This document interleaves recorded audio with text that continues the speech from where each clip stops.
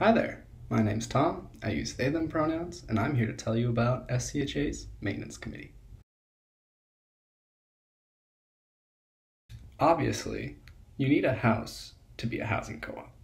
Maintenance Committee deals with the physical aspects of the co op houses, making sure that they are safe and habitable for the co opers who live there. Wear and tear happens, so co opers build institutional knowledge so that all co opers can more easily identify and fix problems when they arise. And with this knowledge, co opers can even use it to make desirable improvements to their space, like making crafts, garden installations, or just adding a shelf to your room. So, how does maintenance committee work? Maintenance committee is made up of one rep from each house and two reps from the domes, in addition to the committee chair. The house reps are responsible for communicating maintenance needs to the committee and, in many cases, addressing those needs.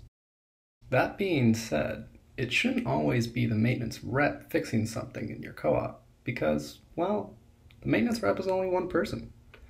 But also, the committee's goal is to enable all co opers to be able to address maintenance problems and feel empowered enough to change their space to their desires and needs.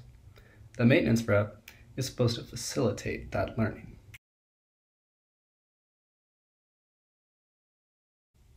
So, now, how do you go about fixing a problem in your co op? To answer this question, we have provided two helpful documents that can be found on the SCHA's website in the maintenance section. The first is the maintenance flowchart. This gives you an overview of the process of maintenance in SCHA and reminds everyone not to bother staff when there's something that you can solve yourself. The second document is major versus minor maintenance, which outlines what kind of maintenance merits what kind of action. For example, if your toilet isn't functioning, that's a minor maintenance issue. If your toilet exploded, that's a major maintenance issue. Each problem has a budget allocated to it, and for larger projects that no one can fix, like an exploded toilet, we democratically decide to employ a contractor. I hope these resources are helpful. And if you have any questions, find your local maintenance rep. If you don't have a local maintenance rep, join maintenance committee.